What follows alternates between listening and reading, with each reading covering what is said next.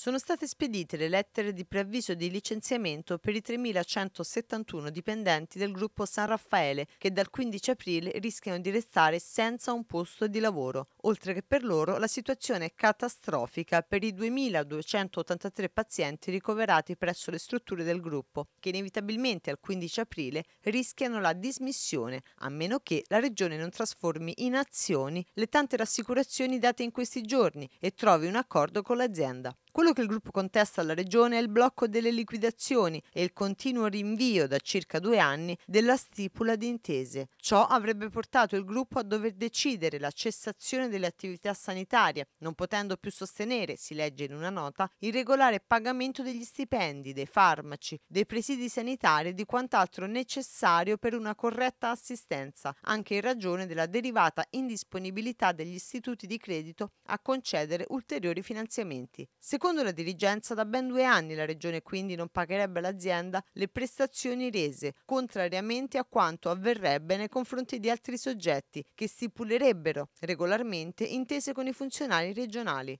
Una situazione davvero critica che ha messo in allarme migliaia di famiglie e proprio per difendere i propri diritti e per far fronte a quella definita una catastrofe si è costituito il Comitato per la difesa del San Raffaele, cui hanno aderito dipendenti e pazienti. Ogni comitato ha un suo coordinatore. Abbiamo incontrato i coordinatori della sede di Via Valcannuta, Marco Marziale e Alessandro Castellana, entrambi funzionari del gruppo San Raffaele. Con Marziale abbiamo affrontato una questione più tecnica. 3.171 lettere di preavviso di licenziamento sono state spedite ieri 4 aprile ai dipendenti della San Raffaele che il 15 aprile se non cambieranno le cose si troveranno in mezzo a una strada come sono andate le cose e cosa sta succedendo all'interno dell'azienda, come l'azienda è arrivata a decidere questo. Confermo di aver ricevuto la lettera di preavviso di licenziamento. La San Raffaele opera nella, nella Regione Lazio con eh, circa 17 strutture, case di cura, poliambulatori, laboratori analisi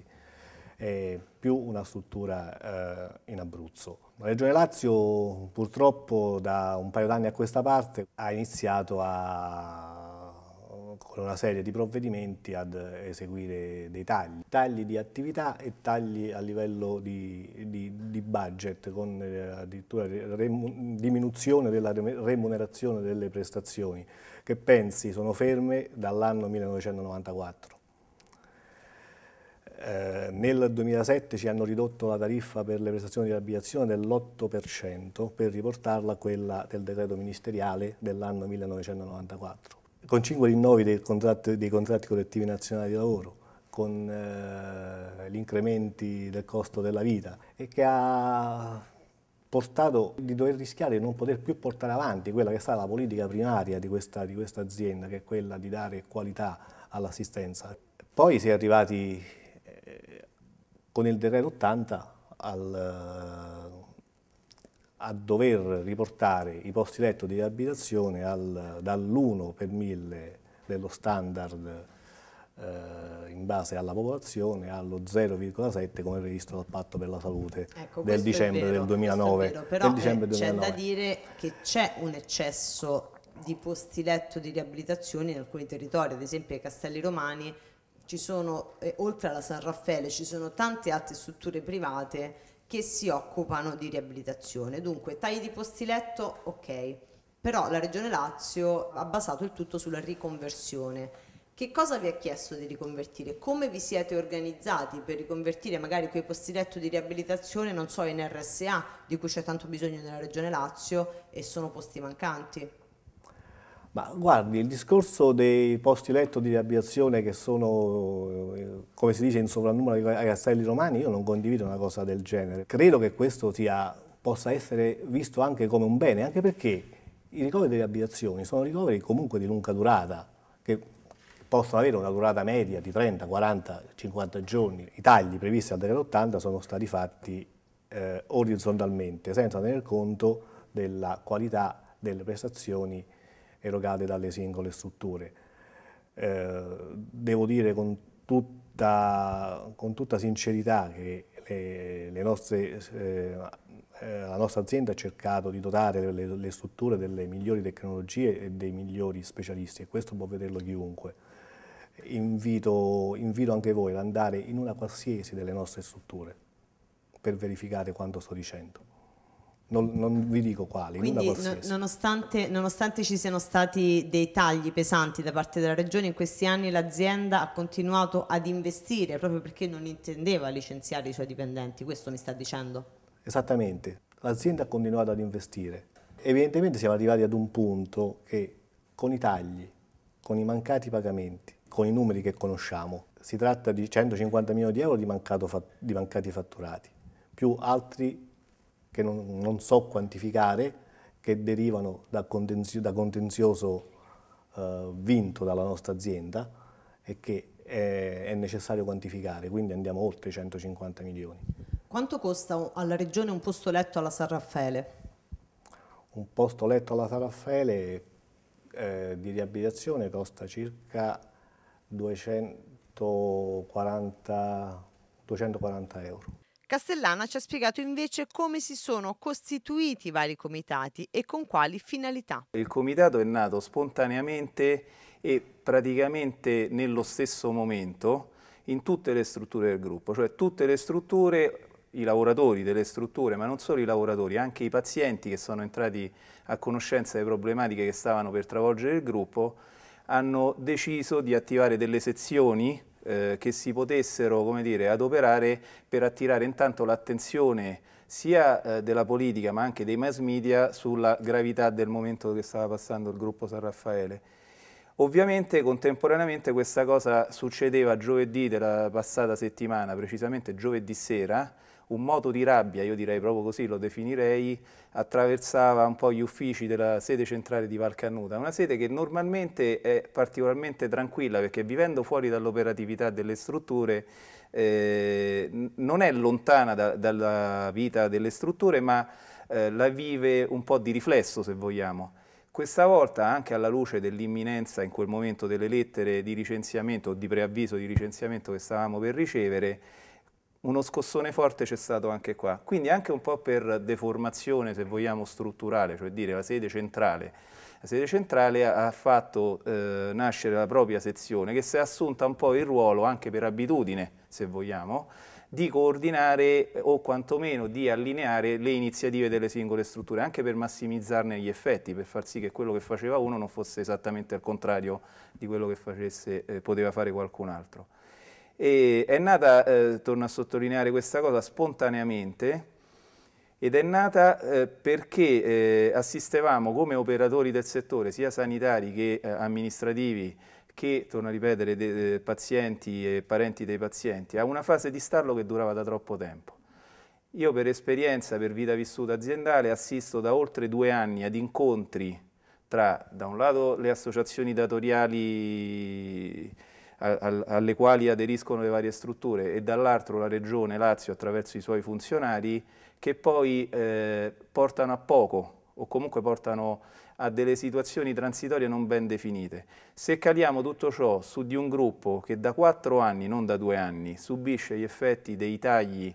che per il gruppo sono stati più devastanti per un motivo molto semplice, già l'ha detto prima il mio collega, noi facendo, eh, essendo specializzati in alta specialità riabilitativa, quindi non una riabilitazione senza togliere nulla, intensiva pure e semplice, ma al nostro interno abbiamo delle eccellenze in tal senso, eh, con i tagli e quindi con la dequalificazione, non solo quindi tagli di posti letto, ma anche dequalificazione delle attività che noi facciamo, faccio l'esempio della cosiddetta RAI, eh, che è riabbiazione ad alta intensità, che oggi è stata declassata a codice 75, o della LAI, la lungodegenza ad alta intensità, sulla quale c'è tanta confusione anche a livello regionale sul termine lungodegenza ad alta intensità, che viene spesso confusa con la riabilitazione che fino a un certo punto poteva essere erogata sui posti letto di lungodegenza. Eh, per esempio queste, queste tipologie eh, precedentemente, ma ancora oggi, anzi oggi qualcosa è cambiato, esistevano soltanto 80 letti in tutto il Lazio, di questi 80 20 di RAI e 20 di LAI erano sulla struttura di Cassino. Improvvisamente dai decreti è scomparso il riconoscimento di queste attività. Poi a questo eh, perché poi gli operatori si informano, quando vedono un mese che lo stipendio nonostante tutte le difficoltà è sempre arrivato ma magari ritarda, si informano del perché ritarda e scoprono che perché c'è una, una, verifica da fare qua piuttosto che una verifica da fare là oppure una certificazione mancata da parte delle ASL, semplicemente eh, motivate dalla eh, lentezza burocratica nell'effettuare poi i controlli sulle prestazioni. Prestazioni erogate nel 2007 ancora oggi stanno aspettando il controllo della parte pubblica. Questo fa sì quindi che ai tagli, alla dequalificazione si aggiunge anche il blocco finanziario. Blocco finanziario significa anche blocco finanziario da parte delle banche, quindi è un crescendo, è un effetto domino, se vogliamo, disastroso, che a un certo punto, per la prima volta, eh, in una maniera, come dire, io spero non irrevocabile, ha portato il consiglio d'amministrazione dell'azienda a metterci davanti a un bivio. Qui eh, non siamo più in condizioni eh, di eh, continuare a navigare a, a, vista giorno per giorno in un lento stillicidio e quindi noi vogliamo, eh, questa è stata un po' la sensazione, il messaggio che abbiamo percepito, perché poi in realtà abbiamo ricevuto il comunicato e poi a seguire la lettera, quindi non è che qualcuno ci ha convocato e ci ha fatto il comizio, tanto per essere chiari. E quindi non vogliamo che addirittura a rischio vada la salute dei pazienti che nel gruppo San Raffaele, io lo posso testimoniare, io ho diretto tre strutture prima di venire in sede centrale, sono state sempre al centro dell'organizzazione. L'attenzione è stata sempre massima, allora non ci possiamo permettere, questo era il messaggio, che eh, magari qualche paziente a causa di queste nostre difficoltà possa rimetterci qualcosa, anche fosse poco, della propria salute, che è un bene a cui non possiamo rinunciare. Questa cosa è stata percepita da tutti noi e quindi al di là del, eh, dei, del ruolo delle parti, cioè dire da un lato il datore di lavoro, dall'altro le organizzazioni sindacali e dall'altro ancora la Regione Lazio, ci siamo sentiti in dovere di far sentire la nostra voce, che non è detto che sia in contrasto con quella del sindacato, così come non è detto che sia distante da quelli che sono i disegni della Regione Lazio. Però, eh, questo è una cosa certa, eh, non possiamo andare oltre il 15 aprile. Noi conosciamo la determinazione eh, dei, dei, nostri azionisti e sappiamo pure che non sono eh, persone che vogliono lavorare male sicuramente hanno a cuore il destino dei propri dipendenti, sicuramente ancora di più dei pazienti che le strutture assistono e proprio per questo non vogliono continuare a lavorare in una situazione così precaria, ma tantomeno vogliamo continuare noi operatori. Questo sia chiaro a, a chi ci ascolterà in, attraverso i mass media. Questo che stiamo cercando di trasmettere a tutti. Abbiamo scritto una lettera aperta alla Presidente Polverini perché, eh, proprio perché abbiamo colto anche una, eh, quantomeno da, dai messaggi pubblicitari e anche dalle azioni che sta facendo nei quartieri e così via, una vicinanza alla cittadinanza. Allora, noi prima di tutto siamo cittadini, secondo poi siamo lavoratori, terzo tutti i potenziali pazienti. Non siamo disposti ad aspettare ancora che qualcuno decida di che morte dobbiamo morire. Daremo tutto il massimo del nostro contributo per far sì che si arrivi a una soluzione condivisa ovviamente, eh, però che sia fattiva, costruttiva e che ci dia garanzie per il futuro, prima di tutto a noi lavoratori. A noi interessa ovviamente che l'azionista continui ad investire e quindi chi ci volesse accusare di strumentalizzazioni varie o che lo faccia pure, non ci interessa, noi andiamo avanti. Ovviamente io ecco, colgo l'occasione anche per, so che eh, giovedì della, di questa settimana ci saranno degli incontri in regione, eh, mi sento anche di chiedere una, anche se poi è un po' come dire superfluo visto che è un, suo, un loro dovere istituzionale, nascono per questo, un forte supporto da parte dei sindacati dei lavoratori che eh, devono anche in qualche modo riconquistare la nostra fiducia. Noi ci siamo sentiti un po' abbandonati altrimenti probabilmente saremmo andati tutti a bussare al sindacato, tutti ci saremmo iscritti al sindacato e le tessere sarebbero aumentate. Io non sono mai stato iscritto a un sindacato, non so se mai lo sarò, quello che è certo è che sono pronto fino all'ultimo giorno a difendere il posto di lavoro e questo insieme a 3.000 colleghi. Se giovedì non si risolverà la situazione, se giovedì non ci saranno buone notizie, nei prossimi giorni fino all'arrivo del 15 aprile, come intendete muovervi? Allora, lei sa che noi abbiamo già raccolto, e questa è stata una sorpresa anche per me, ma fino a un certo punto, perché conosco sia i colleghi che i pazienti che frequentano le strutture, non tutti ovviamente i pazienti, ma la clientela, la tipologia di clientela, è brutto chiamare i pazienti clienti, ma sono e devono essere anche clienti prima che, che pazienti perché meritano la giusta attenzione. E noi nel, nel giro di, eh, le dicevo prima, giovedì sera moto di rabbia, venerdì eh, Costituzione, lunedì passato annuncio ai sindacati e, eh, di questa nostra iniziativa lettera aperta alla, alla, Polverini, quindi noi tra sabato e domenica abbiamo accolto, raccolto qualcosa come 6.000 firme, che poi le, eh, le, consegneremo così che possano essere anche queste testimonianza, stiamo continuando a raccogliere, ma questo è soltanto un primo segnale.